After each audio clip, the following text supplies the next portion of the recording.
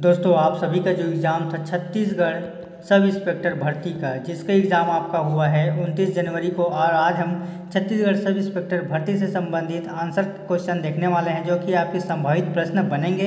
तो आप लोग प्लीज़ आपका जो क्वेश्चन आंसर आप बनाए हैं तो एक बार चेक कर लीजिएगा, संभावित प्रश्न देखेंगे। और आप लोग एनालिसिस करके बताइएगा कि आप लोगों का कटअप कितना जा सकता है, आप लोग कितने नंबर तक बना के आए हैं। तो आप सभी को पता होगा कि माइनस मार्किंग नहीं था इसमें, ठीक है, इसमें माइनस मार्किंग नहीं था। छत्तीसगढ़ सब इंस्पेक्टर पुलिस भर्ती में और आपका वन डे एग्ज़ाम था, ठीक है। तो चलिए मैं ज़्यादा बातें ना करते हुए चलिए मैं डायरेक्ट आंसर आपको बताने वाला हूँ, ठीक है। तो पहला क्वेश्चन है, दूध से क्रीम निकालने में कौन सा बल लगता है? तो दूध से क्रीम निकालने में आपका अब केंद्रीय बल लगता है, ठीक है? जल्दी से चेक करते जाइएगा, आप लोग कमेंट करके बताइएगा कि कौन सा आपका सही है और कौन सा आपका गलत है। और कितने लोग पूरा, जैसे कि आपका सौ नंबर का क्वेश्चन आया था तो आप लोग कितने नंबर बना गए हैं, ये भी आप कमेंट कर सकते हैं, ठीक है? चलिए सेकंड क्वेश्चन है जो छत्तीसगढ़ सब इंस्पेक्टर भर्ती का उसका संभावित में प्रश्न आपको, प्रश्न का आंसर करा रहा हूँ, कितना सही है आप लोग एक बार मिला लीजिएगा, ठीक है? तो चलिए सेकंड क्वेश्चन है, किसी विधेयक पर राष्ट्रपति के निषेधाधिकार को निरस्त करने के लिए किस बहुमत की आवश्यकता होती है? तो इसका आंसर भी होगा साधारण बहुमत। एक बार आपको आंसर चेक कर लीजिएगा, ठीक है कि कितना सही है और कितना गलत। और आप लोग बताइएगा कि आप लोग कितने नंबर बना के आए हैं, ठीक है? तो चलिए, तीसरा क्वेश्चन है F I H world ranking के अनुसार जून 2022 में भारतीय पुरुष हॉकी टीम का रैंक कौन सा है? तो इसका रैंक आपका हो जाएगा चौथा। कौन सा हो जाएगा? चौथा ऑप्शन सी होगा।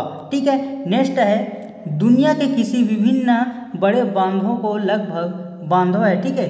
बांधों को लगभग संतावन परसेंट बड़े बाँध है तो आपका हो जाएगा, कौन सा हो जाएगा? जल्दी से कमेंट करके बताइएगा, इसका आंसर कौन सा आप लोग लगाए हैं? तो इसका आंसर चीन और भारत होगा, ठीक है? चीन और भारत होगा आंसर सी। व्यापम भी ऐसे ही एग्ज़ाम में ये भी आंसर लेगा। व्यापम भी ऐसे एग्ज़ाम में लेगा, जो मैं आपको बता रहा हूँ। एकदम 90 परसेंट, यानी कि 90 परसेंट आपको संभावित बता रहा हूँ, ये मेरा पाँच वर्षों का पाँच वर्षों का जो अनुभव है, इसके अनुसार मैं आपको बता रहा हूँ और व्यापम भी ऐसे एग्ज़ाम में आंसर लेने वाला है, ठीक है? तो चलिए, इसके बाद मैं आपको बताता हूँ कि कौन सी जोड़ी सम्मिलित नहीं है। तो चलिए, इसका आंसर आपका हो जाएगा बाल गंगाधर तिलक यानी कि डी, जो कि सत्यशोधक सभा से सम्मिलित, मानिक सुमिलित नहीं है, जबकि आपका जमुना लाल बाज़ार, सत्याग्रह आश्रम से Dadabhai Naoroji Bombay association, Lala Lajpat Rai national, ये बिल्कुल तीनों ही सही है, जबकि सुमिलित नहीं है, पूछा गया है तो आपका आंसर डी हो जाएगा। चलिए नेक्स्ट देखते हैं यहाँ पर।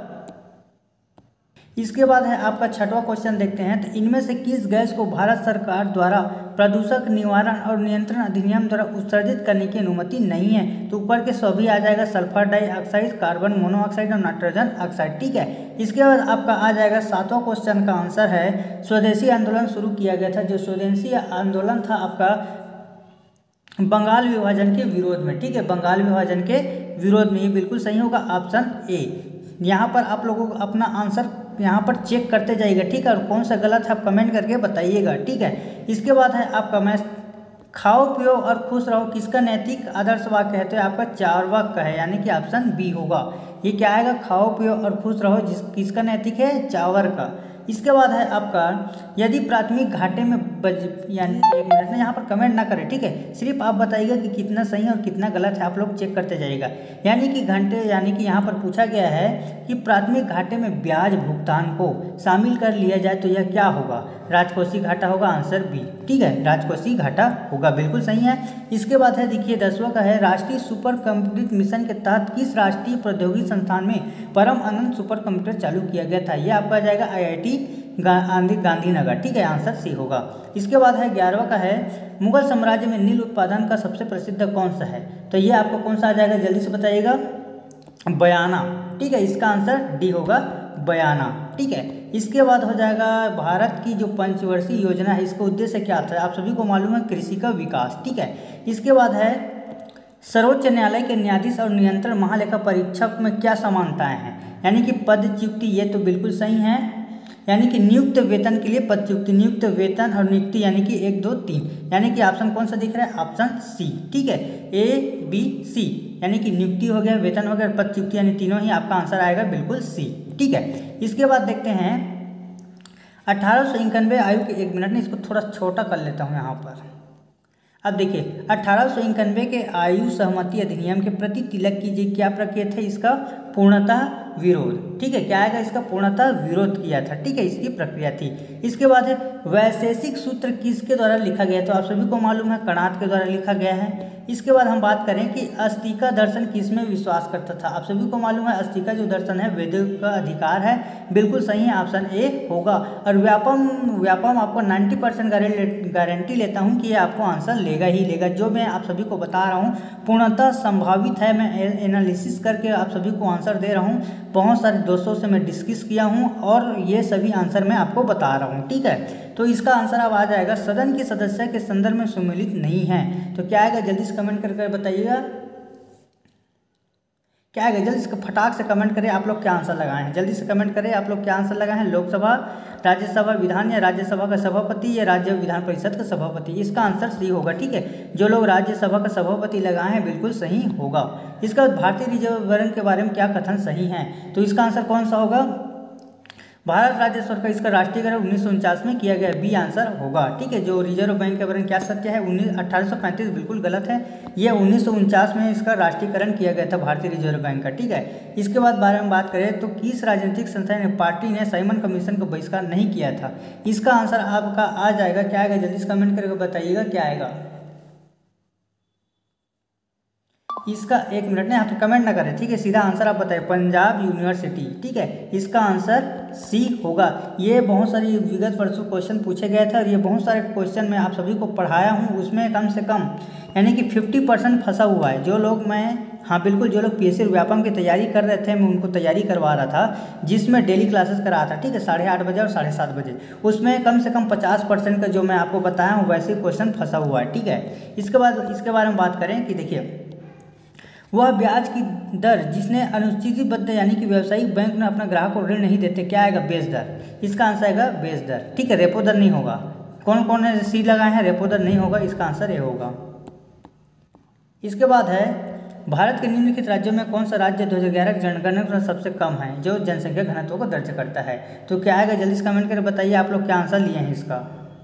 क्या आंसर लिए हैं इसका? इसका मुझे मालूम नहीं है ना, इसका आप लोग आंसर बताइएगा, इसका मुझे मालूम नहीं है। ठीक है? मैं इसके बारे में नहीं पता तो आप लोग कौन सा कमेंट कर रहे हैं, जल्दी से बताइएगा। अरुणाचल प्रदेश, मेघालय, त्रिपुरा, मणिपुर। कौन सा आंसर आएगा, आप लोग कमेंट करके बताइएगा। ठीक है? जितना आंसर मुझे पता था, मैं आप सभी को बता रहा हूँ। ठीक है? इसके बाद चलिए देख लेते हैं।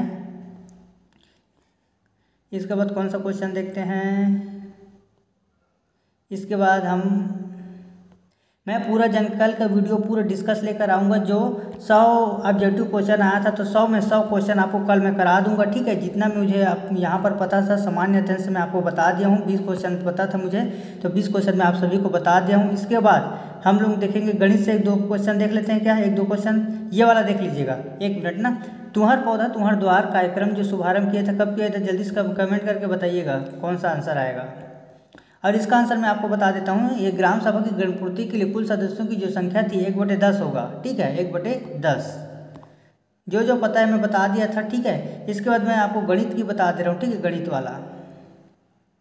चलिए गणित से देख लेते हैं, फिर हम लोग कल पूरा, यानी कि कल हम डिस्कस करेंगे पूरा टोटल सौ एम यानी कि पूर्णतः, ठीक है? पूर्णतः आपको मैं कल के वीडियो में पूरा बता दूँगा कि सॉल्यूशन के साथ, ठीक है? सॉल्यूशन के साथ आपको मैं बताऊँगा, डिस्कस करके कि कौन सा क्या आएगा, पूरा जानकारी मैं आपको बताने वाला हूँ, ठीक है? अगर आप लोग चैनल पर नए हैं तो जल्दी से वीडियो को सब्सक्राइब कर लीजिएगा, लेटेस्ट टाइम पर लेटेस्ट वीडियो अपलोड कीजिएगा, ऑल पर सेट कर लीजिएगा, ठीक है? वीडियो को लाइक कर दीजिएगा, वीडियो को लाइक कर दीजिएगा, प्यारा सा कमेंट कर दीजिएगा कि, सर, हम डेली क्लास करने वाले हैं। ठीक है, पीएससी? और देखिए पी का जो एग्ज़ाम है, आपका बारह फरवरी को होने वाला है। कब है? बारह फरवरी को होने वाला है, ठीक है? तो चलिए आप गणित से क्वेश्चन देख लेते हैं। चलिए गणित से दस क्वेश्चन आए हुए हैं, ठीक है? गणित से कितने क्वेश्चन आए हुए हैं? दस क्वेश्चन ठीक है, गणित से दस क्वेश्चन आए हुए तो चलिए देख लेते हैं कौन कौन सा इसका आंसर गणित से दस क्वेश्चन है, सामान्य मानसिक योग्यता से, ठीक है? तो यहाँ पर देख लेते हैं इसका आंसर कौन सा होगा? ये बिल्कुल सही है, देखिए, जो ये वाला डिज़ाइन दिया गया है, वो यहाँ पर दिया गया यानी कि बिल्कुल ए सही होगा आपका, ठीक है? इसके बारे में अब देखते हैं। इसका आंसर होगा आपका डी कौन सा होगा? डी ठीक है? कितने लोग इसका आंसर बनाए हैं? डी, दो साइड नौ। यानी कि दो सौ नवासी किस, किन लोगों का आया है? मैं ये पूरा सॉल्यूशन कल आपको बताऊँगा, ठीक? है गणित का जो सॉल्यूशन है, कल आपको बताऊँगा। अभी आप लोग आंसर मिला लीजिएगा। मैं आपको सीधा आंसर बता रहा हूँ, ठीक है? आंसर आप लोग चेक करते जाइएगा। मैं डायरेक्ट आंसर बता रहा हूँ, ठीक है? डायरेक्ट डायरेक्ट आंसर बता दे रहा हूँ क्या क्या आएगा, फिर कल हम सोल्यूशन करने वाले हैं, ठीक है? मैथ्स का पूरा मैं एकदम बेसिक कॉन्सेप्ट के साथ सोल्यूशन में आपको बताऊँगा। इसका आंसर में आपका आ जाएगा ये बी यानी कि क्यू आएगा, इसकी जगह क्यू आएगा आंसर बी आ जाएगा, ठीक है? देखिए एन का मतलब होता है चौदह, जैसे सभी सभी को जोड़ कर बताएगा ये ये देखो, इतना को जोड़ोगे तो आप चौदह आएगा, उसी प्रकार एन लिया है, उसी पर इन दोनों को जोड़ोगे तो इतना आएगा एल यानी कि देखिए, चार एक, पाँच पाँच, सात, पाँच, बारह, यानी कि एल मतलब बारह, ठीक है? उसी प्रकार दस है, सोलह सोलह और पंद्रह, इक्कीस, यानी कि यू आपका इक्कीस। यानी कि इन दोनों को जोड़ेंगे कितना? चौदह और दो सोलह एक सत्रह यानी कि क्यू तो आंसर बी होगा। इतना सरल क्वेश्चन पूछा गया है, देखिए यहाँ पर। इसके बारे में बात करें तो इसका मैं डायरेक्ट आपको बता दे रहा हूँ, इसका आंसर क्या होगा। तो साठ छात्रों की कक्षा में लड़कियों की संख्या दोगुनी थी, यानी कि सात, सत्ताईसवें स्थान पर यदि लक्ष्मी नौ स्थान ला के आगे रहते तो उसका रैंक कितना होता? बाईस होता, ठीक है? इसका आंसर कौन सा देखिए, इसका आंसर सी होगा। अब इसका देख लेते ये बिल्कुल सरल है, इसका आंसर भी सी होगा। ये देखिए, इसे सब पूरा उल्टा उल्टा दिखाई दे रहा है, लेकिन बिल्कुल सी सही दिखाई दे रहा है। देखिए, इसका दिशा कैसा बना हुआ है? जो इसका दिशा बना हुआ है, ये वाला भाग, ठीक है? ये आपका सी में जाएगा, बिल्कुल करेक्ट जा रहा है, बल्कि इन लोगों का आंसर तो बिल्कुल उसमें मैच ही नहीं कर रहा है, ठीक है? इसके बारे में देखेंगे, अब यहाँ पर इसका आंसर भी ये होगा।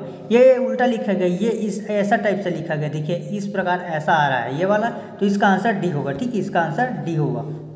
बिल्कुल सही है कि कौन कौन आंसर डी दिए हैं? हो गया।